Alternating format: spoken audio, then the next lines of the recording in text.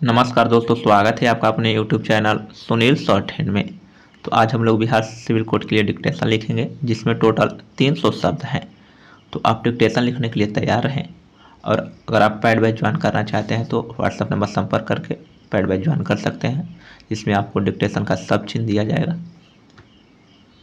चलिए डिक्टेशन को स्टार्ट करते हैं।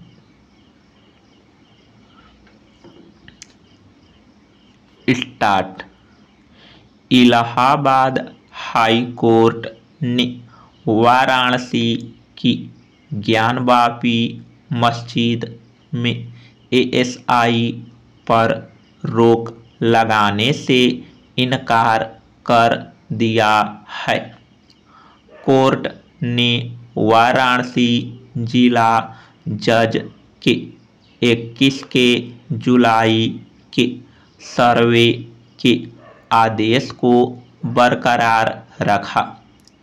एएसआई सर्वे को चुनौती देने वाली अंजुमन इंतजामिया मस्जिद कमेटी की याचिका खारिज कर दी।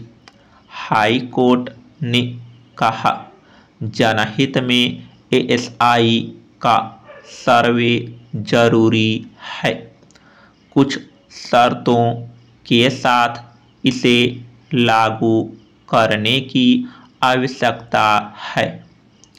जुलाई के अंतिम सप्ताह में हाई कोर्ट ने दोनों पक्षों की तरफ़ से लगातार दो दिन बहस चली थी।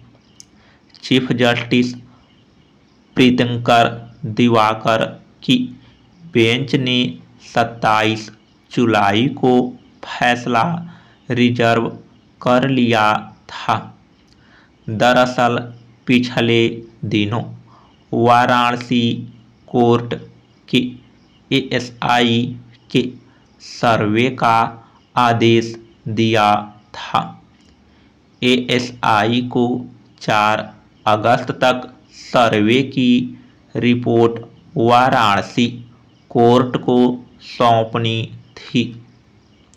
इसके खिलाफ अंजुमन मस्जिद कमेटी ने सुप्रीम कोर्ट का रुख किया था। सुप्रीम कोर्ट ने 24 जुलाई को एएसआई के सर्वे पर 26 जुलाई शाम पाँच बजे तक के लिए रोक लगा दी थी और मस्जिद कमेटी को हाई कोर्ट जाने से कहा था। इसके बाद कमेटी ने हाई कोर्ट का रुख किया था। हाई कोर्ट ने रोक के आदेश को आज यानी तीन अगस्त तक के लिए बढ़ा दिया था।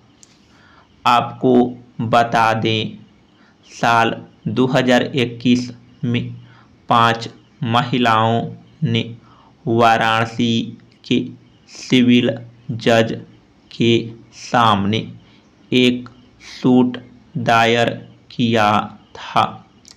इसमें उन्होंने ज्ञानवापी मस्जिद के बगल में बने श्रृंगार गौरी की रोज़ाना पूजा करने की अनुमति देने की मांग की थी।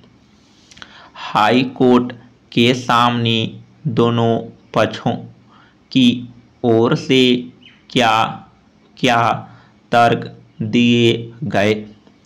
मस्जिद कमेटी ने कहा था, कभी भी इस मामले में पक्षकार नहीं रहा है। फिर भी उसे आदेश दिए गए। अगर सर्वे होता तो उनको दावों से लगता है कि पूरे मस्जिद परिसर को नष्ट कर दिया जाएगा। कमेटी ने ये भी कहा था कि ढांचे को नुकसान पहुँचाया जा सकता है। समाप्त। पैड बैच ज्वाइन करने के लिए आप दिए हुए व्हाट्सएप नंबर पर संपर्क कर सकते हैं। आपको वहाँ प्रतिदिन डिक्टेशन और सब चिन्ह मिलेगा।